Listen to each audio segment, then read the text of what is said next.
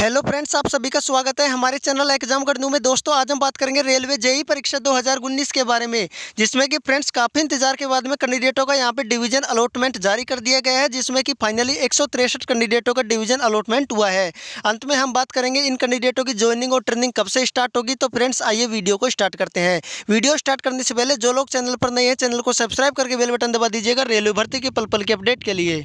Friends यहाँ से देखिएगा, मैंने आर गोरखपुर की ऑफिशियल वेबसाइट ओपन कर रखी है इसी में आपके लिए लेटेस्ट अपडेट आई हुई है।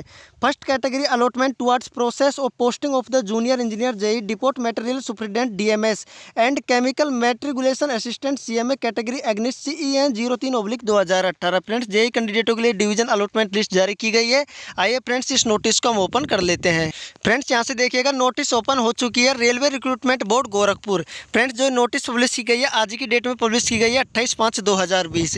यहाँ से कैंडिडेट के बेसिक इन्फॉर्मेशन मेंशन किए गए हैं। कब से कब तक कैंडिडेट के सीबीटी टेस्ट चले थे, कब से कब तक डीवी चले थे, कब से कब तक कैंडिडेटों के मेडिकल कंडक्ट करवाए गए थे। फ्रेंड्स यहाँ से देखिएगा।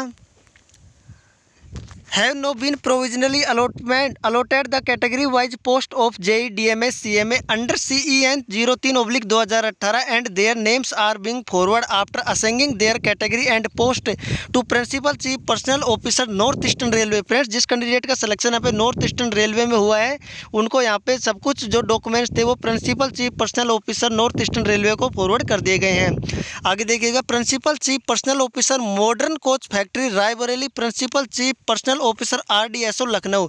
और जिस कैंडिडेट का सिलेक्शन यहाँ पे आरडीएसओ लखनऊ, जिनको यहाँ पे डिवीज़न अलॉट किया गया है, वहाँ पे कैंडिडेट के डॉक्यूमेंट्स फॉरवर्ड किए गए हैं।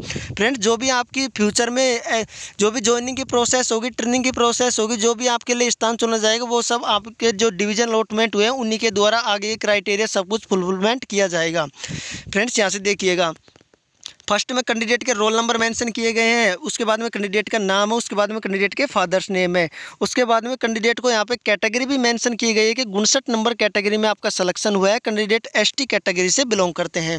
उसके बाद में सेकंड में देखिएगा, इस कैंडिडेट का सलेक्शन बारह नंबर कैटेगरी में हुआ है, ये भी एसटी के कैंडिडेट हैं। उसके बाद में यहाँ पर देखिएगा, ये कैंडिडेट जो है तिरपन नंबर कैटेगरी में इनको पोस्ट मिली है, ओबीसी से ये बिलोंग करते हैं।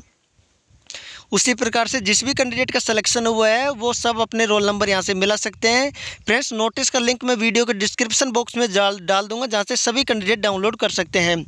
और यदि बात करें टोटल कैंडिडेटों की तो यहाँ से देखिएगा total number of candidate in above list in एक ओनली हंड्रेड फ्रेंड्स टोटल एक कैंडिडेट है, जिनका कि फाइनली डिवीज़न अलॉटमेंट हो चुका है। फ्रेंड्स यहाँ से अभी जो जेई के नेक्स्ट पैनल है, वो अभी आने बाकी है तो जैसे ही यहाँ पे इन कैंडिडेटों की ज्वाइनिंग हो जाएगी तो यहाँ से देखिएगा नेक्स्ट पैनल आने में भी प्रोसेस बहुत ही कम लगने वाला है। नेक्स्ट पैनल भी आर आर बी जेई कैंडिडेटों के लिए जारी किया जाएगा। फ्रेंड्स अब हम बात करते हैं इन कैंडिडेटों की ज्वाइनिंग के बारे में कि कब तक कैंडिडेटों की ज्वाइनिंग और ट्रेनिंग स्टार्ट हो सकती है। फ्रेंड्स देखिएगा 31 मई तक आपके स्थायी लॉकडाउन है।